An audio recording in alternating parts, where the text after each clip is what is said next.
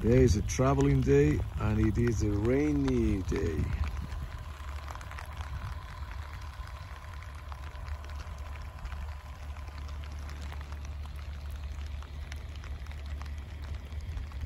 Heading to South Dakota.